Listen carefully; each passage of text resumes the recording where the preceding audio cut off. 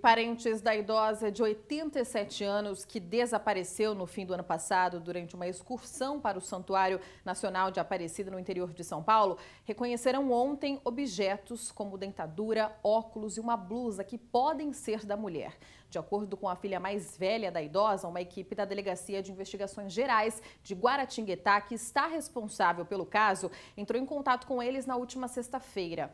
Dona Berenice era devota de Nossa Senhora Aparecida e todos os anos ia ao santuário para pagar promessa.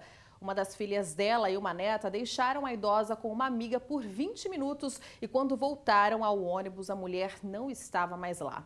A polícia solicitou agora um exame de DNA que será feito para comprovar a identidade da ossada.